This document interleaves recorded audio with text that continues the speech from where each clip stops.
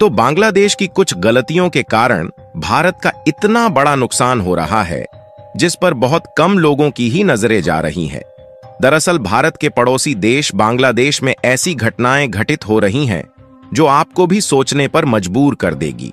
और इसके कारण न सिर्फ़ बांग्लादेश में उथल पुथल देखने को मिल रही है, बल्कि बांग्लादेश की कुछ गलतियों के कारण भारत को बहुत बड़ा नुकसान उठाना पड़ रहा है।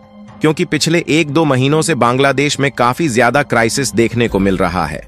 और हाल ही में खबर निकल कर आ रही है कि भारत के जो डोमेस्टिक एक्सपोर्टर है, उन्हें अपना सामान बांग्लादेश में भेजने में कई दिक्कतों का सामना करना पड़ा है, जिससे भारत के ज़्यादातर एक्सपोर्टर का सामान ना के बराबर बांग्लादेश में एक्सपोर्ट हो पा रहा है। यहाँ तक भारत के द्वारा जिन फ़ूड प्रोडक्ट का एक्सपोर्ट बांग्लादेश में किया जा रहा था, उन्हें अब आसानी से एंट्री नहीं मिल पा रही है, जिससे जल्दी खराब होने वाले फ़ूड प्रोडक्ट एक्सपायर हो रहे हैं और भारत की कंपनियाँ घाटे में जा रही हैं। और यह स्थिति हाल ही में और भी ज़्यादा गंभीर हो गई जब 5 अगस्त को बांग्लादेश की पीएम शेख हसीना अपने देश को छोड़कर भाग चुकी है और उन्होंने अपने पद से रिजाइन दे दिया है। पूरी खबर क्या है विस्तार से चर्चा करेंगे। लेकिन आगे बढ़ने से पहले इस वीडियो को एक लाइक करके चैनल को सब्सक्राइब ज़रूर कर लीजिए। क्योंकि यह आपके लिए तो एक सेकंड का काम है लेकिन इससे हमारी काफ़ी बड़ी मदद होती है।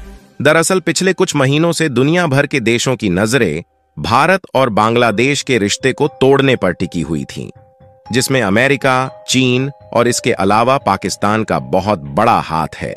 यह तीनों देश मिलकर भारत और बांग्लादेश के बीच द्विपक्षीय व्यापार और आर्थिक संबंधों को देखकर पूरी तरह से परेशान थे, इसलिए यह बांग्लादेश में शेख हसीना की सरकार को गिराना चाहते थे ताकि भारत और बांग्लादेश के बीच रिश्ते में दरार आ जाए। और भारत जो दूसरे देशों के साथ साथ श्रीलंका, बांग्लादेश और भूटान को धीरे धीरे कंट्रोल में लेकर वैश्विक बाज़ार में सबसे तेज़ी के साथ आगे बढ़ रहा है, वहाँ पर भारत पीछे हट जाए।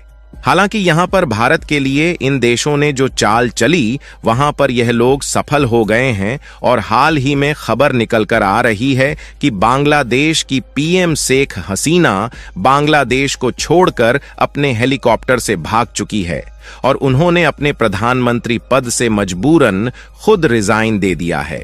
भारत के लिए इतनी ज़्यादा बुरी खबर है, इसका अंदाज़ा आपको इस वीडियो में आगे पता चलने वाला है। क्योंकि जब से बांग्लादेश में विरोध प्रदर्शन हो रहा था, तब से भारत की कई कंपनियाँ काफ़ी ज़्यादा नुकसान उठा रही हैं। और भारत का जो बांग्लादेश के साथ बायोलेटरल ट्रेड और स्ट्रेटेजिक रिलेशन था, वह धीरे धीरे कमज़ोर होना शुरू हो गया था। लेकिन इसका और भी ज़्यादा बुरा इम्पैक्ट भारत पर पड़ रहा है। बांग्लादेश के पीएम आवास में ज़बरदस्त दंगों के बीच में हसीना शेख को हेलीकॉप्टर पर बैठकर जल्द से जल्द भागना पड़ा। इस बीच अचानक पीएम आवास में 20 लाख से ज़्यादा लोगों की भीड़ इकट्ठा हो गई थी। इसके बाद यह हेलीकॉप्टर त्रिपुरा के अग्रतला में उतर गया और भारत के द्वारा इन्हें पूरी तरह से सुरक्षा दी जा रही है।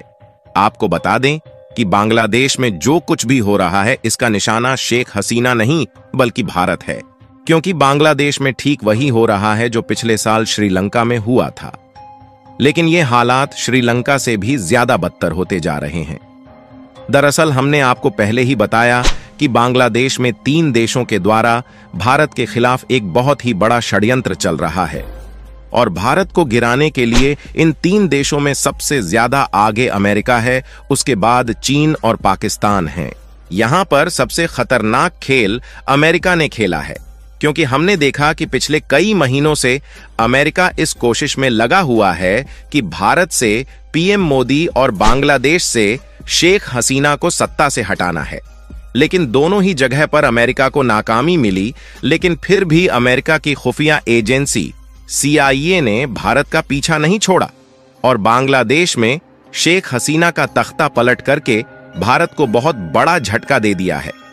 अगर आप इस रिपोर्ट को देखें तो बताया गया है कि अमेरिका बांग्लादेश के हिस्से में एक सैन्य बेस बनाना चाहता था, ताकि वह उससे भारत पर नज़र रख सके।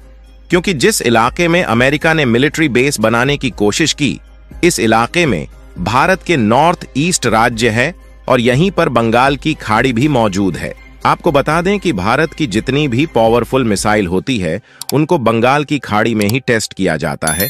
इसीलिए अमेरिका इस कोशिश में जुटा हुआ था कि भारत की डिफेंस जासूसी करने के लिए वह बांग्लादेश के हिस्से में सैन्य बेस बनाए। लेकिन बांग्लादेश ने जिस तरीके से अमेरिका को बाहर का रास्ता दिखाया था, उससे अमेरिका पूरी तरह से नाराज़ हो गया और वह हाथ धोकर बांग्लादेश के पीछे पड़ चुका था। हालाँकि यहाँ पर सिर्फ़ अमेरिका का ही हाथ नहीं है, बल्कि एक्सपर्ट ने दावा किया है कि इसमें पाकिस्तान और चीन का बहुत बड़ा हाथ है। क्योंकि चीन के साथ जितनी बार भी बांग्लादेश की पीएम हसीना शेख मिली है, वहाँ से यही बात सामने आई है कि चीन चाहता है कि भारत के साथ बांग्लादेश सभी प्रोजेक्ट रद्द कर दे और उसके बजाय वह चीन के साथ अपने व्यापारिक संबंध को मज़बूत बनाए। यहाँ तक कि भारत के सिक्किम और अरुणाचल प्रदेश राज्य से होकर जो तीस्ता नदी बांग्लादेश से गुजरती है, उस पर चीन बाँध बनाना चाहता था। जिसके लिए चीन ने बांग्लादेश को कई बार ऑफ़र दिया कि वह बहुत कम लागत में इसे खुद बनाएँगे। इसके लिए बांग्लादेश की पीएम ने पहले भारत के नरेंद्र मोदी और फिर चीन के सी जिनपिंग से मुलाकात की, लेकिन शेख हसीना ने चीन को सीधा मना कर दिया और उन्हें बता दिया कि वह बाँध भारत की मदद से ही बनवाएगी, क्योंकि यहाँ जो बाँध बनाया जाना है, उसे तीस्ता नदी पर चिकन नेक की बेहद नज़दीक बनाया जाना है। और यदि चीन कभी यहाँ पर हमला कर दे तो इससे भारत के नॉर्थ ईस्ट वाले इलाके बिल्कुल अलग हो जाएँगे। फ़िलहाल इस मैप पर नज़र डाली जाए तो हम देख सकते हैं कि बांग्लादेश का ज़्यादातर हिस्सा भारत की सीमा से सटा हुआ है। इसलिए चीन बांग्लादेश में आने की कोशिश कर रहा है, क्योंकि कश्मीर की अपेक्षा यहाँ से भारत के इलाके में घुसना काफ़ी ज़्यादा आसान है। और यदि चीन यहाँ पर आ गया तो भारत के लिए काफ़ी ज़्यादा खतरा पैदा हो जाएगा। फ़िलहाल अब बात कर लेते हैं कि बांग्लादेश में जो स्थितियाँ बिगड़ रही है, उससे इस समय भारत का किस तरीके से नुकसान हो रहा है। तो इसके लिए आपको बता दें कि इसका सीधा असर भारत की उन कंपनियों पर पड़ रहा है, जो कंपनियाँ बांग्लादेश में अपनी फैक्ट्रीज और इंडस्ट्रीज़ चला रही है और वहाँ पर सामानों का प्रोडक्शन किया जाता है, जिसमें इंडियन कंज्यूमर कंपनी जैसे कि इमामी, मैरिको, पिडीलाइट इंडस्ट्रीज़, गोदरेज और एशियन पेंट्स जैसी अन्य प्रोडक्शन कंपनियाँ शामिल हैं जो कि बांग्लादेश में बुरी तरीके से प्रभावित हो रही है। इसके अलावा भारत की एग्रीकल्चर और फ़ूड प्रोडक्ट का एक्सपोर्ट करने वाली जो कंपनियाँ हैं, उन्हें काफ़ी नुकसान उठाना पड़ रहा है, क्योंकि ज़्यादातर जो प्रोडक्ट बांग्लादेश में एक्सपोर्ट करने के लिए प्रोड्यूस किए गए थे, वे एक्सपायर हो रहे हैं। हालाँकि हम आशा करते हैं कि बांग्लादेश की सिचुएशन जल्द ही दोबारा से ठीक होगी और भारत की कंपनियाँ अपने राह पर वापस लौटेंगी। बाकी आप लोगों को क्या लगता है कि बांग्लादेश और भारत के बीच आगे चलकर क्या होने वाला है, अपनी राय कमेंट में ज़रूर बताएँ।